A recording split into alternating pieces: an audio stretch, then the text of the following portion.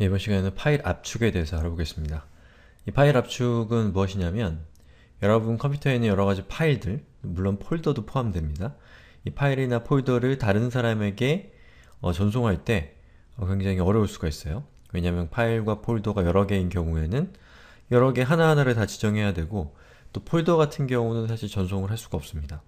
그래서 이런 것들을 어, 쉽게 해주는 그 방법이 이 파일을 압축하는 거고요.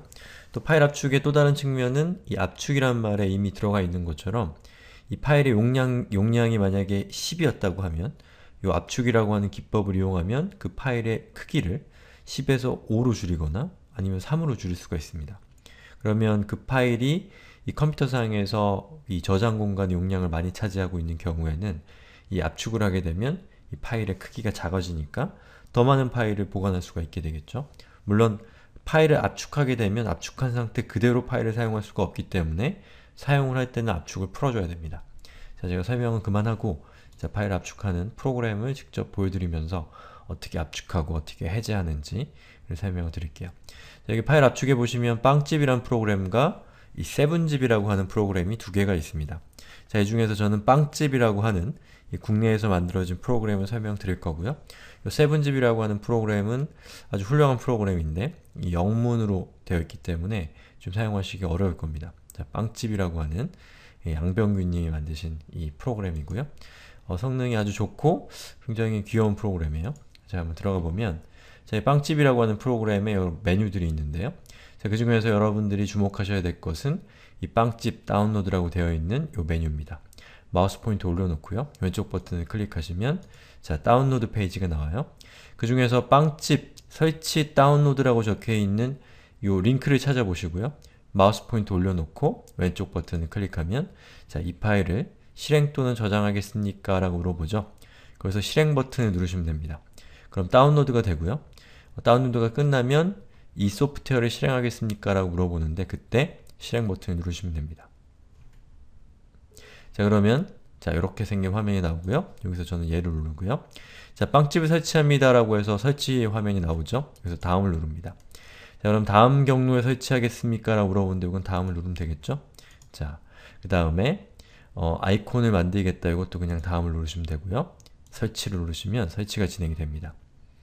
자 사용 중인 탐색기를 제거하기 위해서 이거는 그냥 확인을 누르시면 돼요. 자 이렇게 되면 설치가 끝난 겁니다. 요건 이 빵집과 관련해서 여러가지 것들을 어, 설정할 수 있는 화면인데 여기서 여러분들이 특별히 수정할 건 없어요. 자 확인 버튼을 누르고요.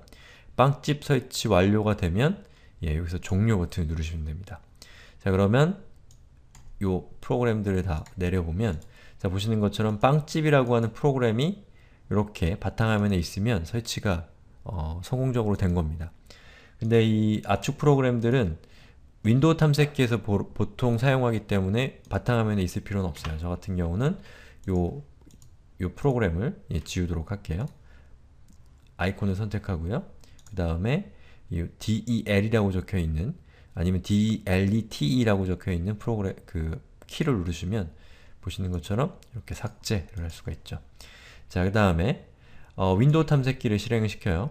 그리고 여러분이 압축하고자 하는 파일 을 선택을 하는데 예를 들면 제가 여기 있는 제 조카 사진을 다른 사람에게 전송을 하고 싶어요. 그런데 요 폴더째로 전송을 하고 싶다고 했을 때 요거를 전송하는 게 쉽지 않은 일이거든요. 왜냐하면 파일이 여러 개이기 때문에 전송을 하려고 그러면 하나하나를 보내야 되고 그리고 요 폴더까지 포함을 시켜서 보내려고 하면 그 역시도 힘든 일입니다. 아니면 제가 여기 있는 자연이라고 하는 이 폴더 안에 들어있는 파일들과 그리고 조카 안에 들어있는 파일들을 같이 묶어서 이 두 개의 그 폴더를 다른 사람에게 전송할 때도 예, 이건 힘든 일이죠.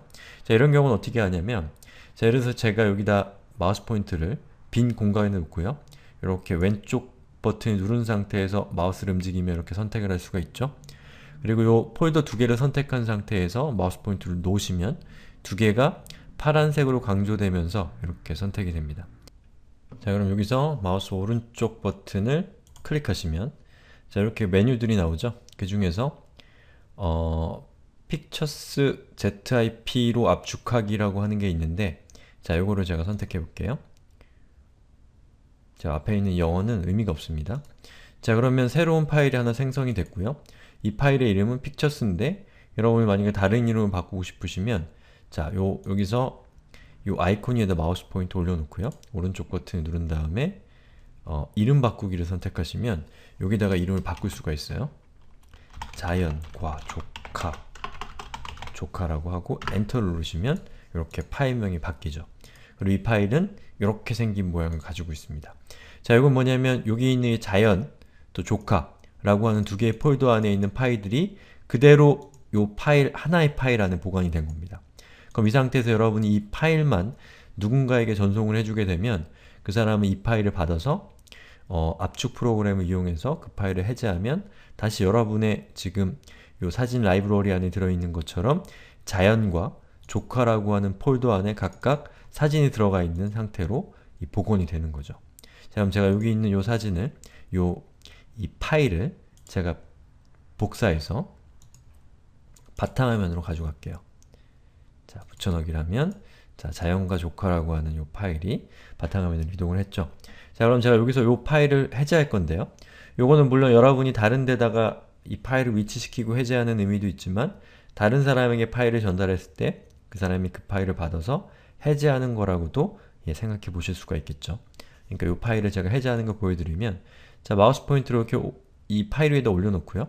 오른쪽 버튼을 클릭하면 이렇게 항목들이 나옵니다. 자 그러면 그 중에서 어, 알아서 풀기라고 하는 게 있고 여기에 풀기가 있는데 저는 그 중에서 알아서 풀기라는 걸 선택해 볼게요. 자 그러면 클릭하면 자 방금 화면이 바뀌었고 이 자연과 조카라고 하는 폴더가 만들어졌죠. 자 이 폴더 안으로 들어가 볼까요? 그럼 이 폴더 안에는 자연과 조카라고 하는 폴더와 이 조카라고 하는 아, 자연이란 폴더와 조카라는 폴더가 들어가 있고 그 안을 더블 클릭해서 들어가 보면 아까 보셨던 그 파일들이 있죠? 그 파일들이 이렇게 보관된 것을 볼 수가 있습니다. 자 그래서 요 알집이라는 프로그램을 설치하면 자, 첫 번째 여러 개의 파일을 하나의 파일로 묶을 수 있다는 거고요.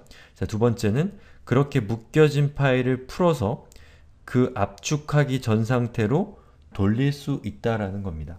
예, 그 방법을 제가 설명을 드렸고요. 자 그리고 또 하나 자 여기 있는 이 파일들이 이렇게 있는데 그 중에서 제가 여기 있는 이세 개의 파일을 이렇게 선택을 한 다음에 자 오른쪽 버튼을 클릭하면 자 보시는 것처럼 어 여기 여러 개의 옵션들이 있는데 자 그 중에서 빵집을 압축하기라고 하는 이 항목이 있어요. 이 메뉴를 선택한 다음에 클릭하시면 자 이렇게 빵집을 압축하기라고 하는 이 상자가 뜹니다. 자 이 상자에다가 여러분이 파일 이름을 정할 수 있고 파일 형식을 지정할 수 있는데요. 자 여기 보시면 어, 파일 형식은 다른 걸로 하실 필요가 없어요. 그냥 집을 쓰시면 되고요. 압축률을 여러분이 바꿀 수가 있는데 자 예를 들면 압축 안함을 하게 되면 이 파일이 그 파일에 묶는 파일을 묶지만 파일의 크기를 줄이진 않아요. 대신에 빠르게 압축이 되죠. 그런데 최대 압축을 하게 되면 이 파일의 크기를 최대한 작게 만들면서 어, 압축을 하지만 동시에 파일을 압축하는 시간이 그만큼 오래 걸립니다. 또 다른 사람이 그 압축을 풀 때도 오래 걸린다는 거죠. 그러니까 파일을 어, 압축을 하지 않는 것과 압축을 하는 것은 장단점이 있으니까 여러분이 그 중에서 선택을 하면 되는데 보통은 보통을 선택하면 되겠죠. 자, 압축한 파일은 그냥 냅두기는 어, 요 압축한 파일들이 예를 들면 지금 요 세 개의 파일이라고 했을 때 요 각각의 파일들을 그냥 두는 겁니다. 휴지통으로 하고 압축을 하게 되면 여기 있는 요 파일들을 하나의 파일로 묶으면서 동시에 원본이었던 요 세 개의 파일 있죠? 이 파일들을 삭제하는 명령이 바로 압축한 파일을 휴지통으로 라는 겁니다. 자, 저는 휴지통으로 선택한 다음에 여기에서 저장을 누를 건데 자, 그 중에서 패스워드라는 게 있습니다. 자, 이 패스워드는 뭐냐면 이 압축한 파일을 암호화 시키는 거예요. 그래서 다른 사람이 이 압축한 파일을 풀어서 그 안에 있는 내용을 열람하거나 실행하려고 할 때 요 여러분이 지정한 요 패스워드를 입력해야지만 이 파일을 풀 수가 있게 하는 게 바로 이 패스워드 기능입니다. 그래서 여기다 여러분들 패스워드를 입력하고 확인을 누르면 이 파일을 해제할 때 패스워드를 반드시 입력해야지만 파일을 해제할 수가 있는 거죠. 자 그럼 저는 패스워드는 지정하지 않을 거고요. 자 파일 이름은 조카라고 하고 저장을 눌러볼게요. 자 그러면 세 개의 항목을 휴지통에 버리겠습니까? 라고 물어보죠. 제가 아까 그 선택할 때 파일 세 개를 휴지통에 버리겠다라고 선택했던 거 기억나시죠? 여기서 얘를 누르면 자 보시는 것처럼 압축된 파일 세 개가 휴지통으로 이동을 했고요. 삭제가 됐고요. 그리고 여기 있는 이 조카라고 하는 파- 그 압축된 파일이 만들어진 거죠. 이렇게 해서 이 파일을 묶고 또 그 파일의 어, 압축률을 지정하고 이런 그 어떤 세부적인 작업들을 할 수 있는 방법들을 제가 설명을 드렸어요. 자 마지막으로 정리해 드리면 자 압축을 한 이유는 첫 번째 여러 개의 파일을 하나의 파일로 묶기 위해서 압축을 합니다. 두 번째는 파일의 크기를 줄여서 더 많은 파일을 이 저장 장치에 저장하기 위해서 압축을 한다는 사실을 잘 기억해 두시면 되겠어요.